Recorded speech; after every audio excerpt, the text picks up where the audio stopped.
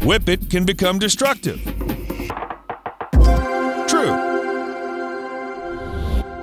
Without daily exercise, a whippet can become destructive and destroy toys, pillows, furniture, or even the garden. They'll behave this way if they're left alone for a long time and suffer separation anxiety, so make sure their daily requirements for exercise and family time are met.